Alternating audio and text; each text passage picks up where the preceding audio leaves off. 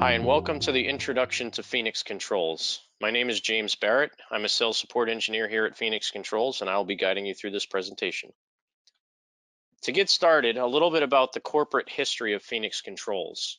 Phoenix Controls was founded and focused on mission critical environments. We've been the system performance leader for over 35 years.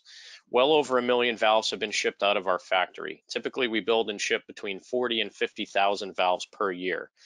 And as that goes over the years, we've had well over 25,000 installations in 45 countries, and that number grows every single day.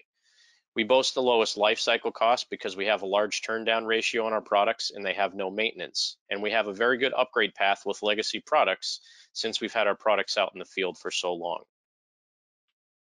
Phoenix Controls boasts itself on being a total critical environment solution provider.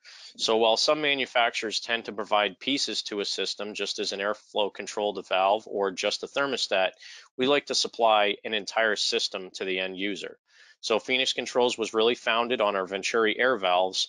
But when you think about the critical environments and where they play, there are other devices that go into those spaces. When you think about a wet chemistry environment, obviously things that control fume hood themselves. So you'll have a fume hood display, you'll have SASH sensors, what we call a zone presence sensor for energy setback, as well as pressure monitoring to be able to reset the pressure inside the ductwork.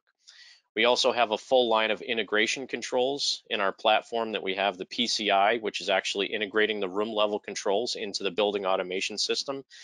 We also offer software called Vision CE, which gives you a look into the environment gives you trending capabilities, the ability to know what's driving your air changes inside the space to give you the best approach to set back and reduce as much energy as possible, as well as maintain your building in the most efficient manner.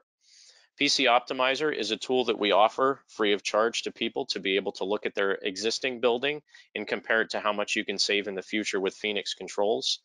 And then on the bottom here, you can see various different platforms that we have for local occupancy control of a space, pressure monitoring, as well as temperature control. So what really makes the Phoenix Controls offering unique? One similar approach to what Phoenix Controls does in regards to airflow can also be applied to water control inside of a building.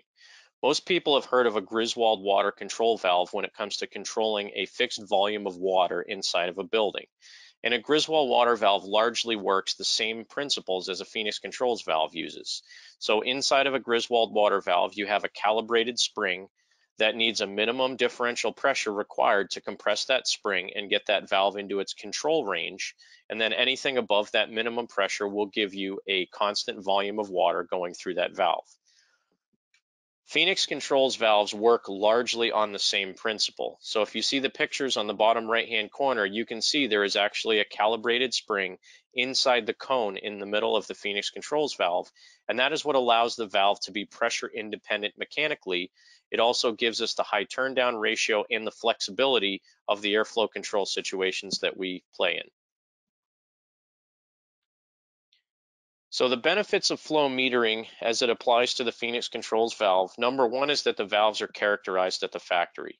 And that really gives you a couple of benefits. You don't have to worry about rebalancing these in the field.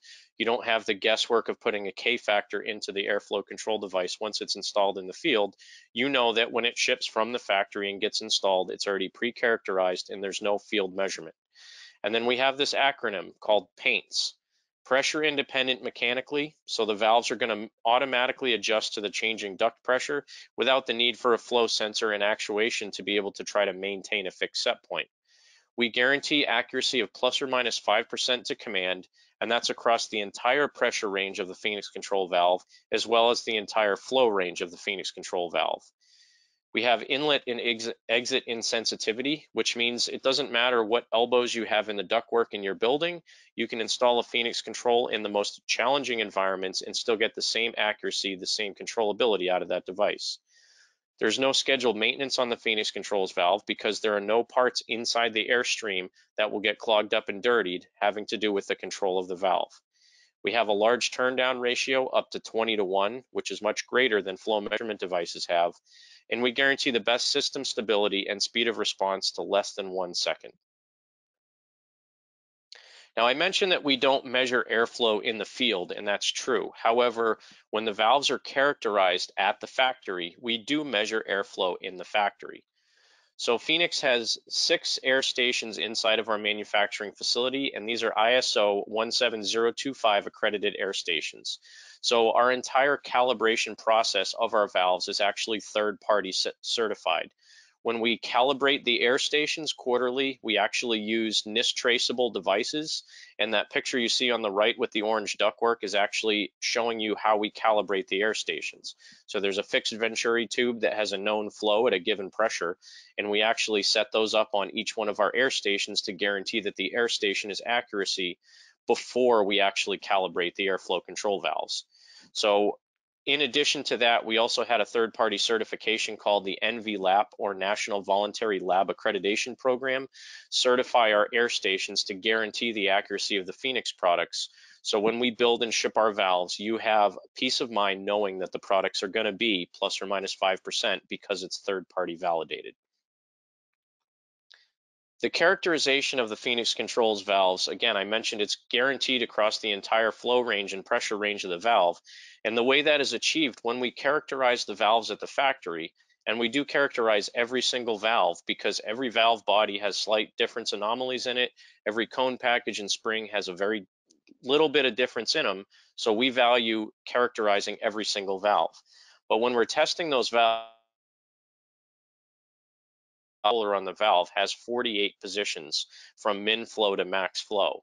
But when we're testing the valves, we're actually testing more like 192 data points across the entire flow range. The reason we do that is we know when our valves get installed in a building, they're not going to be running at one differential pressure all the time. We know that they're going to be running at a various different amount of differential pressures.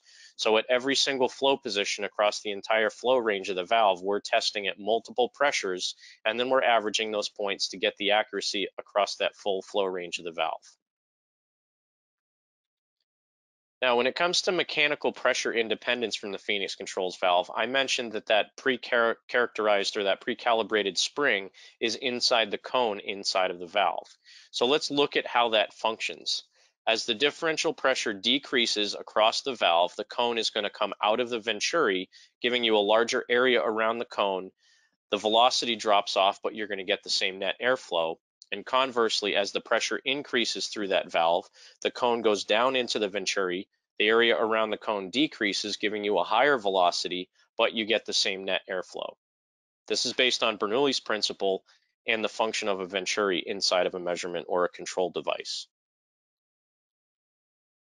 Now, taking into account that 48 point flow curve that I mentioned earlier, now that we can take the differential pressure out of the equation, we can look at the position control of the valve in a completely separate control loop than what you would have if you were trying to measure flow and control that valve based on the, the varying differential pressure through the valve.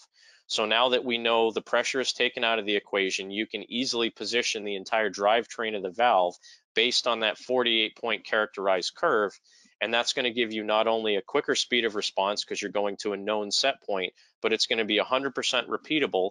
And we can guarantee that our valves don't hunt based on trying to find its set point due to changing duct pressure conditions. Inlet and exit insensitivity inside of a building is important not only for a new building, but also if you're trying to do retrofits. So for a new building, these are some pretty challenging installs where if you're trying to get a straight duct run to measure airflow, it would be very challenging. So this is a 180 degree bend inside of a ductwork. Obviously, not really a good place to put a flow sensor inside that installation. Here's another challenging installation where you have valves mounted vertically directly off of fume hoods. And in this particular application, there's such a short run of duct between the fume hood and the main exhaust riser, there's absolutely no way that you could put a flow sensor in there and get any relative accuracy to control that airflow. This is about the worst case scenario you can get where you have your main duct riser with a 90 degree bend into another 90 degree bend with a splitter going into two Phoenix valves, one with a 90 degree bend going through a hard ceiling and the other one with two 45s going through a hard ceiling.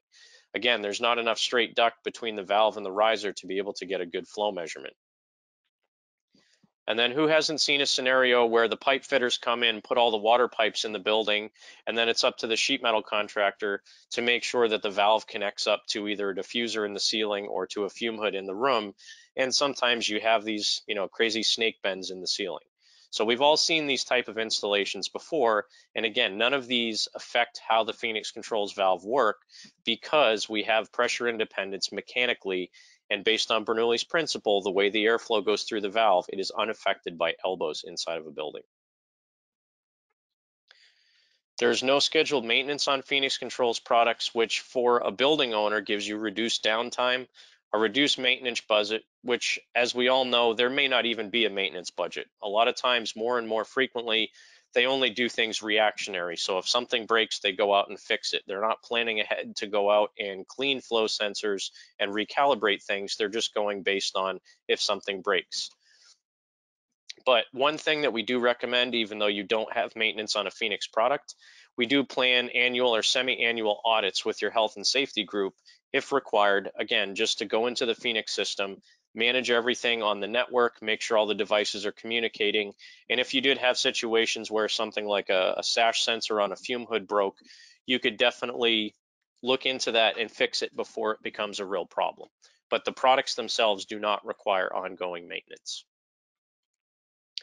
Now, if we look at the turn down ratio between a traditional VAV damper and a Phoenix controls valve, they kind of look inverse of each other. So if you look at how a VAV box works, which is that black line, the way that they typically function is when they're in shutoff mode, as soon as they crack that blade open in the ductwork, you're going to get about 30% of your airflow. So it has what we consider a quick opening characteristic.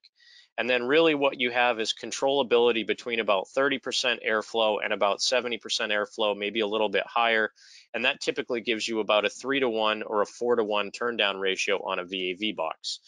And also, when you get down into the low end of the airflow range, the accuracy is going to get much worse just based on the velocity pressure in the ductwork. Now, if you look at that red line, that is indicative of how a Phoenix Controls Venturi valve works. It's basically an inverse of the flow curve that you would have with a traditional VAV box. And again, that's because it's a completely different technology using Bernoulli's principle and the Venturi design inside the valve pressure does not affect how the Phoenix controls accuracy works.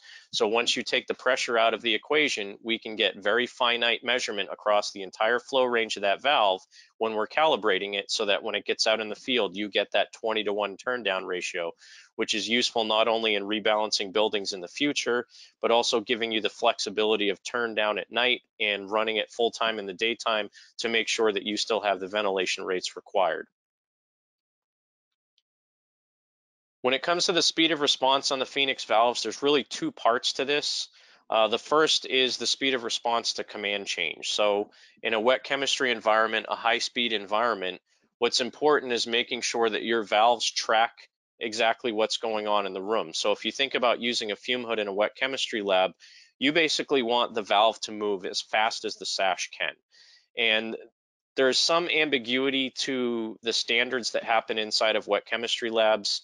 Usually people will say it's about a three second speed of response from the sash's last position, but one second is better. And the reason they have those three second or so is because they can't make the guidelines favor one manufacturer. And because Phoenix is the only manufacturer that actually gives you a one second speed of response from command change, they can't really write the guidelines to favor us. However, um, competition, when they talk about speed of response, they'll usually say about three seconds from final position of the, the fume hood sash, which means that we're still within the guidelines. But again, Phoenix controls one second speed of response to command change. What that means is when I move my fume hood sash, my valve is tracking as fast as that sash is moving.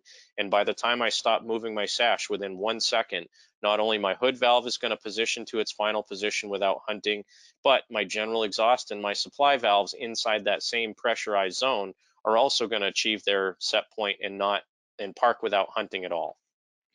Secondary to that is the one second speed of response on pressure changes in the ductwork. And going back to the beginning of this presentation, when we talked about that pressure independent cone with the spring in it, that's what we're referring to, to one second speed of response to changes in ductwork pressure. So basically, individually or separately from the control platform that's telling the valve where to go, that cone, that mechanical spring inside of the cone is actually repositioning itself in real time to make sure whatever set point the valve is set at, you're gonna get your airflow within plus or minus 5%. Now we realize there that flow measurement has been around for a long time and we wanna acknowledge that flow measurement is in the field, but we also want to talk about why we don't do it as a company.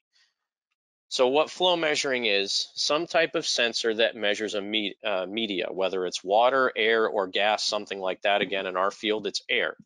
Typically, they have some level of field calibration associated with them. So once they get installed in the ductwork, whatever conditions are going on inside the ductwork have to be accommodated for. So again, going back to if you have a bunch of elbows in the ductwork, you have to accommodate for that. If you have a lot of pressure drop after that airflow control device, you have to accommodate for that. And you basically tune it in the field using a K factor, which is setting it to the best condition you can while it's installed in the field.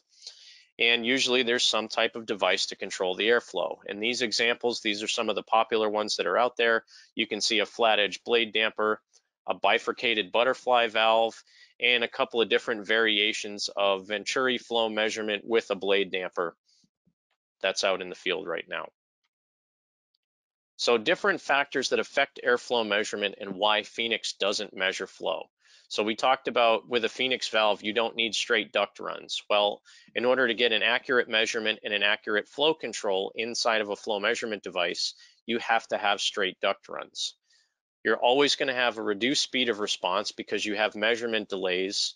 There's always gonna be a level of field balancing involved in this, which is gonna take considerably more time to start up, which also means that there's going to be maintenance, there's going to be accuracy shift over time, and there's going to be drift over time. So let's take those three pieces one at a time.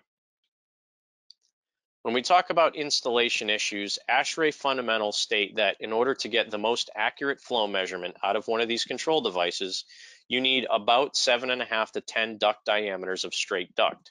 So looking at this example, if we're using a 10 inch duct, that is 10 and a half feet of straight duct or 10, 10 inches, sorry, times 10 and a half duct diameters. So over 100 inches of straight duct to be able to get this flow sensor to work properly.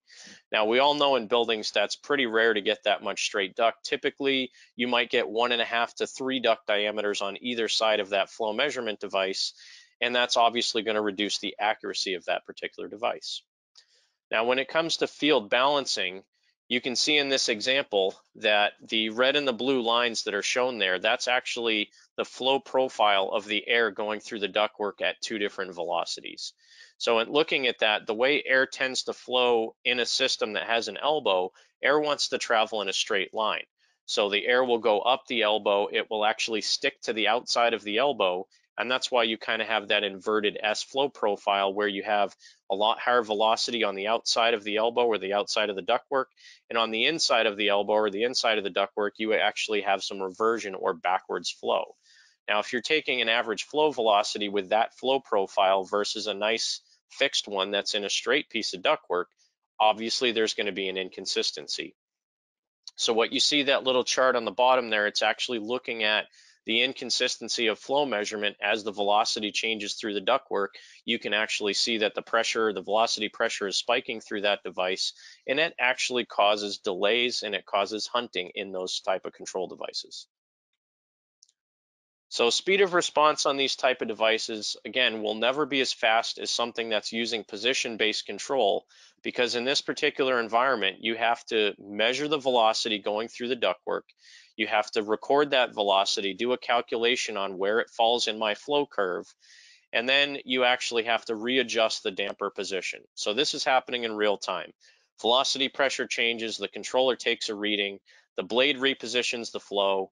Now I have a new pressure reading that then goes back to the controller, and I have this cyclical motion where I'm reading, repositioning, reading, repositioning. And typically that'll give you about a two to three second delay if you want quick controllability. But if you're measuring airflow and you want fast control, what it's going to give you is unstable airflow or unstable pressurization control in the room and in the ductwork. So every time that VAV box blade changes position in the ductwork, it's going to actually change the velocity, which makes it react, take another measurement, and then readjust. We call this hunting because effectively, even if you have a VAV box set at a constant CFM value, it's always going to be moving to try to maintain that set point. And again, that's what you can see on the right-hand side of the screen with that blue chart.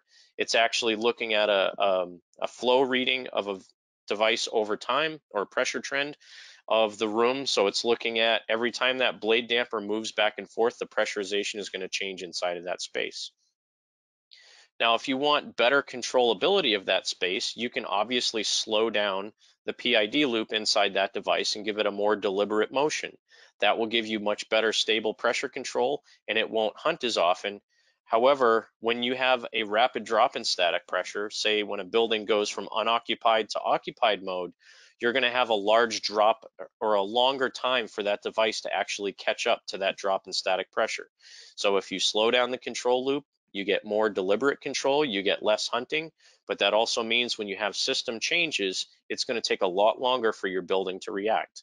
I've actually talked to some people that say they give about 30 to 45 minutes for their system to be able to change pressure when they go from occupied to unoccupied. So if the building goes occupied at 8 o'clock in the morning, they start the transition at 7.30. So the fans and all the VAV boxes have a chance to settle out before the occupants come in and they get their comfort control up to where it should be. So it does cause some problems inside of a building just to slow down the control loop to get more stable control.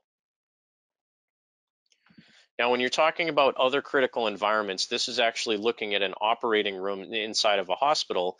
This study was done between how a VAV box works and a Venturi valve or a Phoenix valve inside the operating room.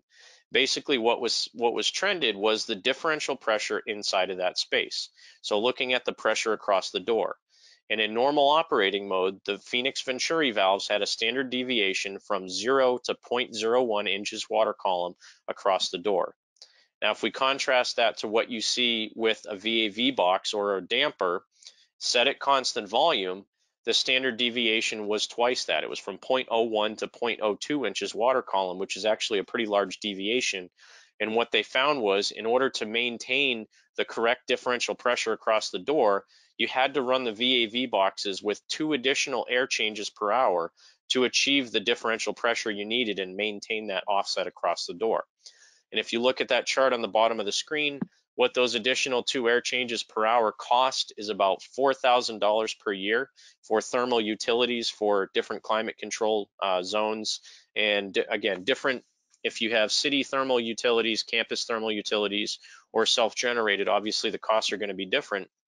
But if you look at that, for each individual pressurized space, you're you're saving at least $2,000 a year just by using Venturi valves to do the same type of airflow control. And in addition to that, we also had better infection control because we don't have that pressurization flipping across the door. Now, I mentioned maintenance, accuracy, and drift when it comes to VAV boxes, and these are really the big key items that we talk about. So what does maintenance mean? Well, it's wasted energy and something called turn down phobia, which basically means when I set my rooms from occupied mode to unoccupied mode, there is a chance that my pressurization could switch. And in that particular case, I can't have pressurization switch when you think about operating rooms or really critical environments with patients or things like that. So instead of turning down the space to save energy, they just leave the building running at full occupancy. Again, in an operating room, take 15 to 20, 25 air changes per hour, where they could turn it all the way down to four or six or eight air changes per hour and save all that money when they're not occupied. They tend to just leave them running. So the accuracy we talked about, Phoenix products plus or minus 5% across the entire flow and pressure range. But when you're talking about airflow control devices that use flow measurement, not only you're not going to get 100% repeatable airflow, but being able to measure and quantify the accuracy is very different than what you have with a third party certified device like a Phoenix valve. And the last thing is drift, the inability to maintain set points, which will lead to inadequate pressurization control. And eventually you'll have to replace components like pressure transducers and recalibrate things year over year just because the drifting system. So let's take a look at these one at a time. So maintenance. If you look at these three airflow control devices, the one on the left is a supply VAV unit, and the two in the middle are exhaust VAV units. Will these VAV boxes be energy efficient? And the answer is no, because what typically happens is when the flow sensors get clogged up, they kind of have an inverse relationship to how much dirt is on them. So the dirtier they get, in the case of an exhaust valve, if the lint clogs up the flow sensors, that exhaust valve is going to go open. And if you have a situation where you have a supply VAV box tracking an exhaust box, as that VAV box goes open, it's still reporting a low flow through it because the sensor is still clogged. So if your supply valve is tracking that low flow from the exhaust valve, your supply valve is going to track to a low flow. Meanwhile, your exhaust box is going to be 100% open. So in these particular environments on the exhaust side, trying to maintain differential pressure across a door is very difficult because once the sensors get clogged up, the box works inversely of what its reading is. It's reading a low flow and it's going open to accommodate that change. However, it's not actually showing you what's really going on. People sometimes say, I like a flow measurement device because I know what's going on inside my space. But in these particular environments, you really don't know what those devices are flowing because the flow probes are completely clogged. We can look at some other scenarios. This particular valve was a clean, quote unquote, general exhaust valve in an animal holding area. And what you see on that flow sensor is actually the dirt and the dust and the lint that's in the clean air for the general exhaust air. This is not the cage rack exhaust valve. This is just general exhaust, clean air. And that sensor got clogged up in about nine months of normal use, just taking animals in and out of their cages, giving them their shots and putting them back in. So you can just imagine how that would work after nine months, obviously that valve is going to be 100% open, so you're not going to be able to maintain your pressurization inside that space. Now, if we look to a different environment, this is a clean flow sensor inside of a patient room in a hospital. This is the same flow sensor after about nine months of patients coming in and out of that room the staff changing the bedding in that room and having visitors come in with dirt from outside the building. Obviously, when somebody comes in and visits somebody in the hospital, they're not making them take a shower and change into clean scrubs. So people are bringing in all that dirt from the outside world and it goes through the exhaust ductwork or the return ductwork. And again, in this particular case, after about nine months, that flow sensor was completely clogged up, which meant that that patient room was negative when it was supposed to be neutral. Not only are you wasting energy, but you're robbing air from somewhere else in the building. Now, when you look at different technologies, it's not just a flow cross or an orifice ring that can get clogged up, but when you look to vortex shedding, this is another product that it's a different approach to measuring airflow than a traditional flow cross. However, you have an obstruction in the middle of the ductwork that can still catch debris. And we have in this particular picture, there's a tissue stuck on that sensor, which does happen in fume hood environments. People take Kim wipes and tissues and throw them through the ductwork, and they're gonna get stuck on anything that's sticking out in the middle of the ductwork. This is another example of a general exhaust valve or a general exhaust flow sensor, same type of vortex shedding technology. And what happens is when you get a lot of buildup on that sensor, not only can the pressure ports on that thing get clogged up so you can't read it, but as you change the diameter of that tube, it's going to change the velocity of air going through there, which is going to put an offset on your accuracy.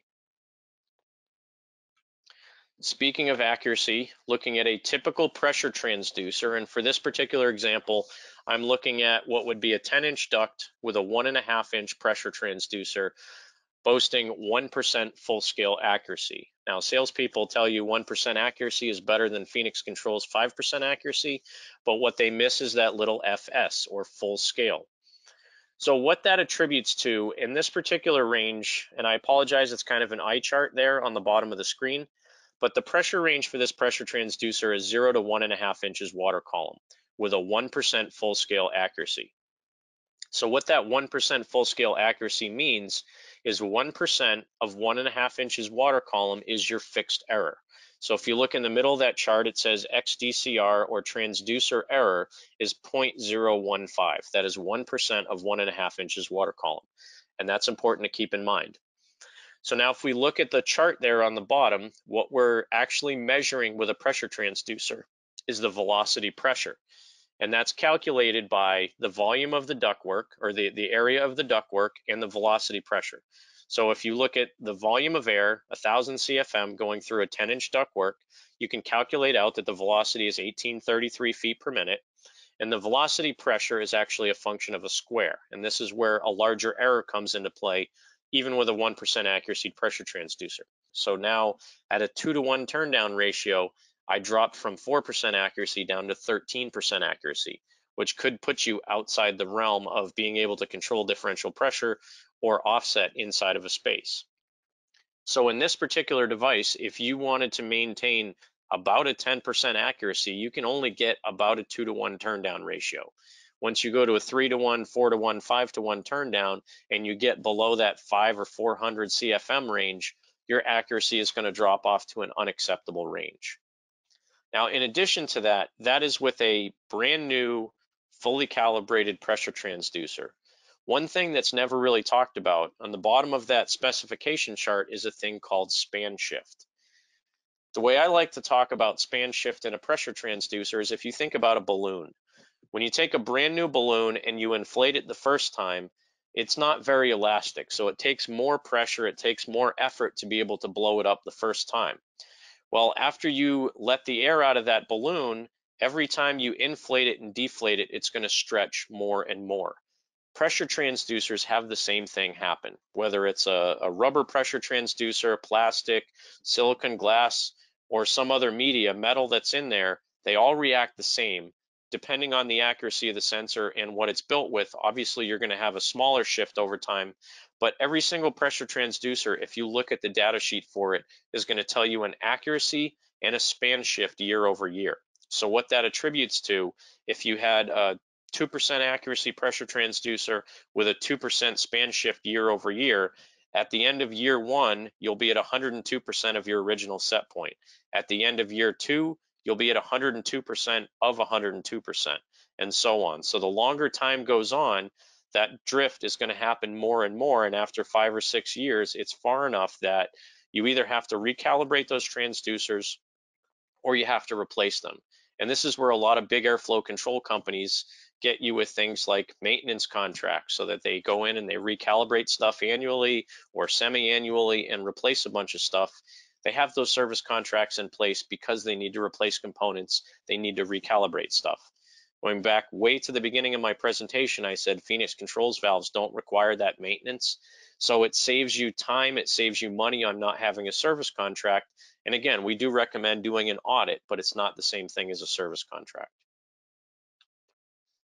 Next, I want to talk about this thing we call the low pressure myth. So we have this literature piece out there called Don't Fall for the Low Pressure Myth. I highly recommend reading it if you get a chance. But what the low pressure myth is, it's actually a, a mindset that some people are trying to push on people versus uh, a calibrated device that comes from the factory calibrated versus something um, that uses an ultra low pressure drop or what they claim is an ultra low pressure drop. And they're citing ASHRAE 130 as the low pressure performance test. Now, ASHRAE 130 is one of those things we were not familiar with. We had to educate ourselves on it. And basically what ASHRAE 130 is, it's a test that measures the flow through a device when it's fully open. So if you think about a VAV box, you fail the device fully open, so the blade is parallel to the ductwork, so there's very little obstruction in the ductwork. And then you put a pressure on the inlet side and you measure the flow coming out of it. And basically that gives you the lowest controllability or the lowest flow that you can get at that pressure, but it doesn't really tell you that the device is in control. So ASHRAE 130 pressure drop with a Phoenix valve versus other devices or third-party VAV boxes and things like that is similar because it's based on the physics of airflow. Basically, the only thing creating an obstruction or increasing the pressure per an ASHRAE 130 test is what's inside that valve. So Phoenix has a cone inside of the valve. Other devices like a bifurcated butterfly damper has a big section or a static regaining compression section inside the valve. The only thing that changes pressure drop through a device that's fully open is what's inside the valve, the area that's being taken up in the dead air space of the valve.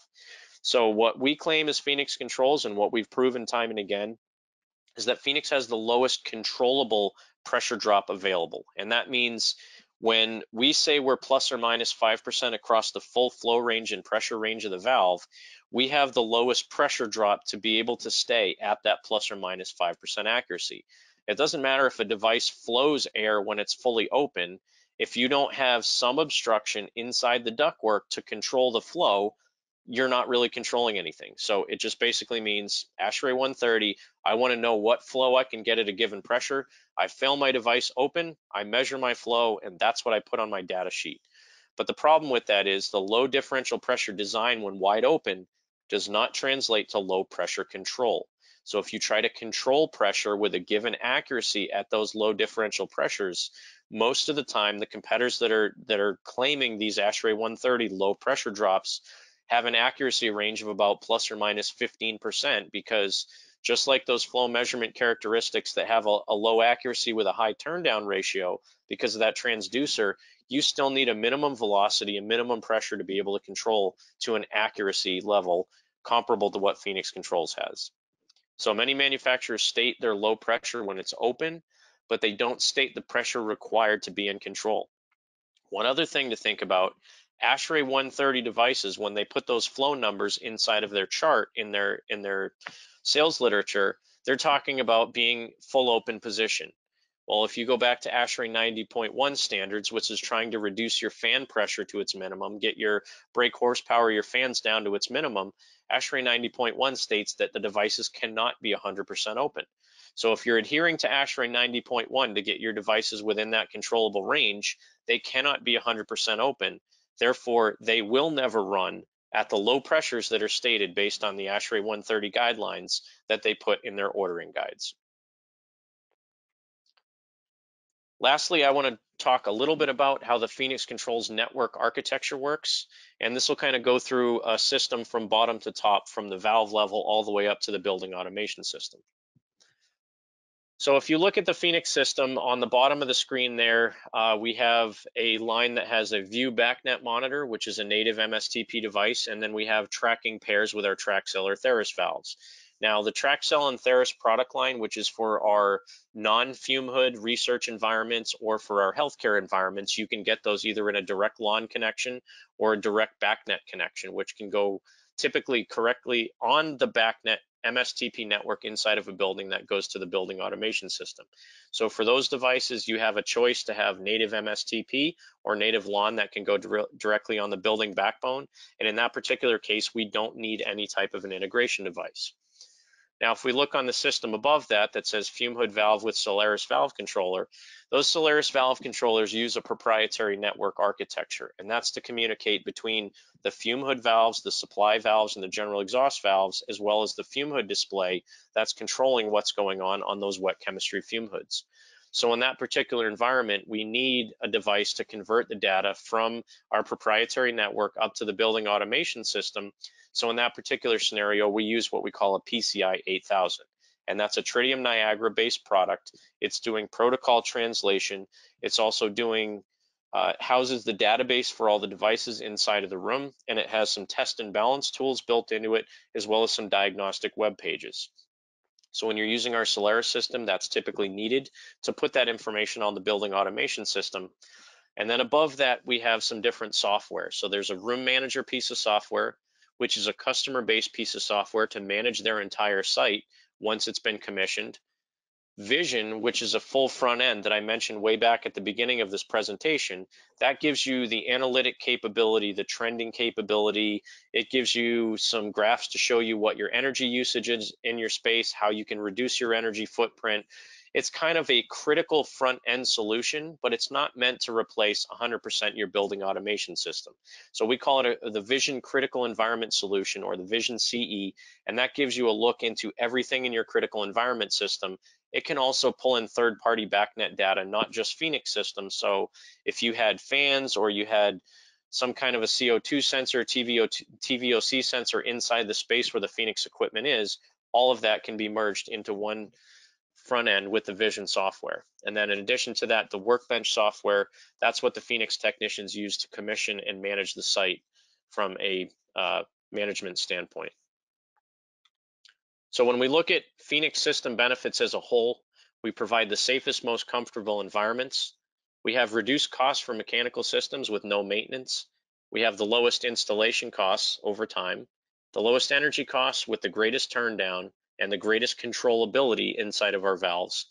We have industry leading sales and support channel, which every single Phoenix representative is trained at the factory for both sales and support side. And we integrate with all BMS partners through that Tridium Niagara system that we use. So now I'm going to turn you over to Don McDonald, and he's going to talk a little bit about a case study with McLaren Macomb. Uh, good afternoon, good morning. Uh, my name is Don McDonald. I'm the uh, regional manager for Phoenix Controls here in Canada and part of the US. I've been with Phoenix for 25 years, and uh, today we're going to talk about a case study uh, that we did recently with uh, McLaren Health. McLaren is headquartered in Grand Blanc, Michigan, and is a fully integrated health network committed to quality evidence based patient care and cost efficiency. Uh, McLaren system includes 15 hospitals in both Michigan and Ohio, and they have cancer centers in those states as well as in Indiana. So a little bit of background.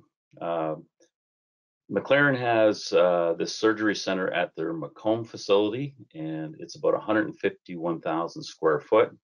Uh, they've had 10 operating rooms in there, uh, consistently performing uh, critical operations since about 2005.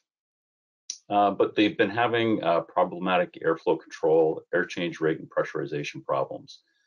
Uh, the objective of this project uh, was to provide consistent airflow and room pressurization, uh, analyze what was going on in the space, and then try to maintain the required air changes per hour per the regulatory standards. Uh, they had some downtime associated with uh, air control problems, so that we wanted to improve that uh, uptime for those operating spaces. And of course, improve patient outcomes by reducing the probability of infection. And uh, also, the staff had some issues with not understanding what was going on in those spaces, and they wanted to have some way of visualizing uh, what it was happening in terms of temperature, flows, pressurization, etc. So um, as a result of these problems, uh, McLaren worked with our local representative uh, in Michigan to determine what could be done to improve the air system performance and, of course, improve patient outcomes. As we previously heard from James, there is a big difference between uh, VAV boxes and what Phoenix offers we look at some of the basic fundamental requirements for uh, ventilation design for operating rooms. ASHRAE 170 2017 has specific guidelines that are uh, have to be adhered to. Uh, for instance, the room has to be 0.01 inch positively pressurized with adjoining spaces at all times. So if you've got a uh, a sterile corridor or another area, you know the the operating room has to be the most positively pressurized of those areas. Uh, 20 air changes when occupied, and that's to ensure that any particles in the room are swept through the space and out away from the patient. Um, and but you can reduce that when the uh, when the room is not being used for a surgery, and we call that the unoccupied mode. Uh, no, it's really important that when you switch from occupied to unoccupied, that you maintain that uh, positive pressurization at all times. Uh, four air changes would be your minimal outside air requirement, and you're typically going to run those rooms at constant volume. So once you're at the 20 air changes or some reduced air changes in the unoccupied mode, you have to stay at that level. Uh, during surgery, the temperature ranges from 68 to 75 degrees F uh, humidity typically in the 20 to 60% range, and then operation must be capable of uh, responding 24 hours a day, seven days a week. Your supply diffusers have to have unidirectional downward and an average airflow velocity of about 25 to 35 CFM per square foot. We can see in this picture here, uh, courtesy of SLD Technologies, they have a pretty comprehensive um, array of diffusers uh, that allows that uh, airflow to come down in a laminar fashion over the patient to maintain a sterile zone. Uh, areas of the diffuser shall extend a minimum of 12 inches beyond, beyond the surgical table, and in most cases, typically uh, you'll see them much uh, extended much further than that. The exhaust grills um, must be uh, at a low level and approximately eight inches above the floor and as far apart as possible. And that's to uh, get that sweeping motion from the supply diffuser down over the sterile zone of where the patient is and then out to the corners of the room. So if we look at a uh, typical uh, room scenario, and uh, we want this room to be at 20 air change rates per hour, Phoenix Controls will provide a Venturi valve on the supply air flow to that laminar uh, supply air diffuser, and will also provide a exhaust air valve on the exhaust side from those low return grills. And basically, we want to set up a situation where we have a uh, positively pressurized space. To do that, we make sure that we have our 3000 CFM or correct number for the 20 air changes per hour. We're going to restrict the exhaust to be less than the total supply. And typically we use about a 10% offset number of the supply air. So we're looking at about a 2700 CFM exhaust and a 3000 CFM supply and a 300 CFM into the corridor, which based on how well sealed that door is, it will generate our required 0.01 inch water column. Now that is a minimum. Most of the time we're shooting for a higher number as an operational uh, uh, pressure. And then this would be our limit for our alarm, which would be monitored by a differential pressure monitor that Phoenix can provide that monitors the pressure between the room and the uh, corridor. Other variables that we have to make sure that we include for would be our occupancy modes, of course, temperature, humidity, pressure monitoring is required, remote monitoring. Uh, we might be using duct temperature sensors on the supply air duct to look at what our discharge air temperature is, and then decontamination. And when we do temperature control in these types of spaces, typically we'll use a reheat coil on the discharge of the uh, air valve, and then that reheat coil control valve is controlled by the Phoenix controller on that supply air valve. And then we do have a space temperature sensor, which can have a uh, display on it, or you may want to display the temperature humidity variables on your pressure monitor or other devices.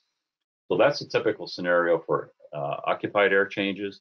When we want to switch to unoccupied air changes, say we go to five unoccupied, right? We basically reduce the supply. The exhaust will track down with the supply until we uh, reach the minimum, but we always maintain this 300 CFM uh, offset.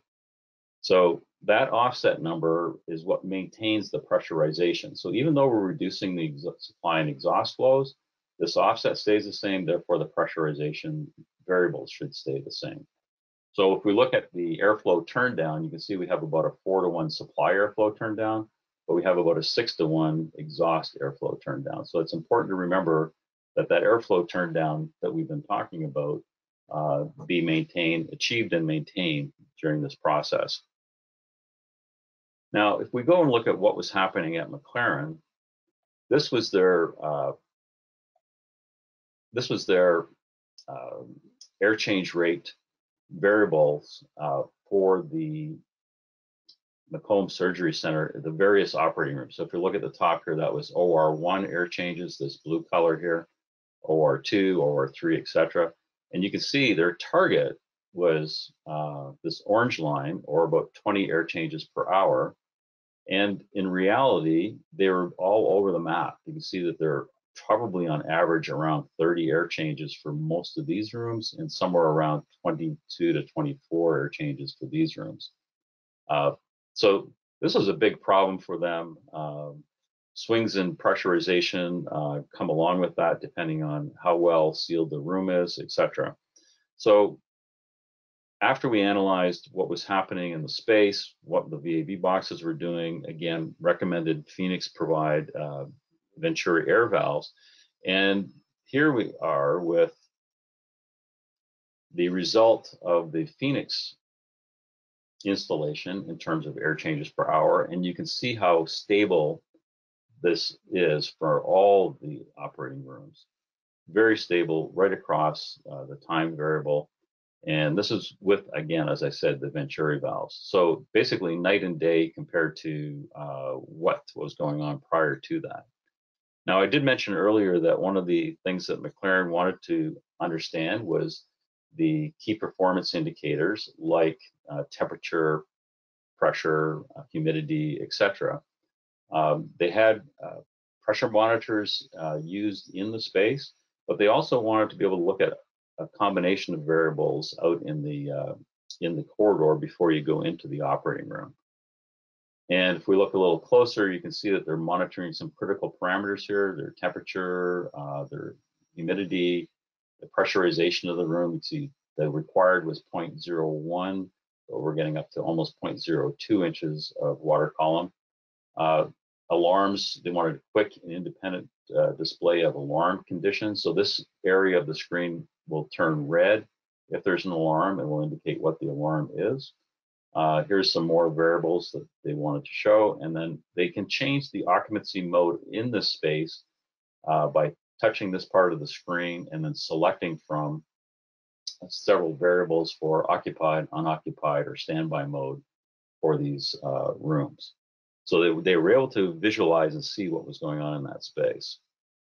Interesting uh, comments from some of the folks at McLaren. Uh, so the director of the Macomb facility said they've noticed the consistency of the air change rate and have been able to see the current temperature. They really didn't have a good understanding of those regulatory compliance items visually before, and now they can see it. It's all there for them. So they understand each of the 10 ORs has the same setup.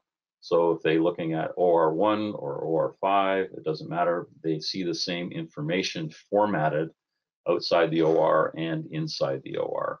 So they're confident that their surgical suites are cleaner and safer uh, and for better patient healing and outcomes. So an, another comment from the manager of engineering, energy engineering and integration services. We already see a measurable difference in the ability to maintain the target air change rates as the air no longer has to condition 16,000 CFM plus. So that's what they figured that they were wasting. We've also seen a reduction in the air energy supply and return.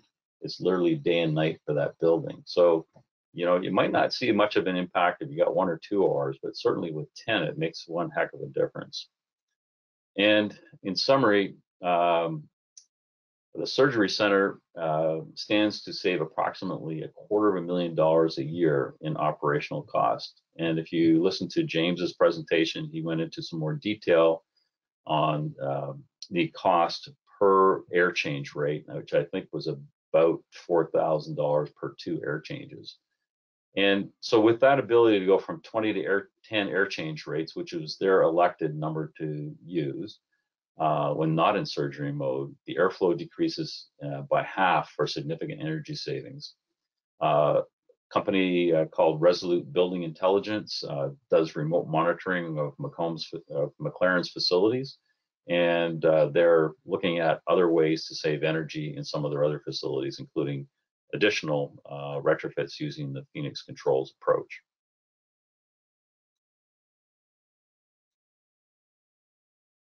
there you go. Thank you very much for your time, and I hope this has been educational. And Phoenix does have a case study uh, document for the McLaren Macomb uh, operating room retrofit.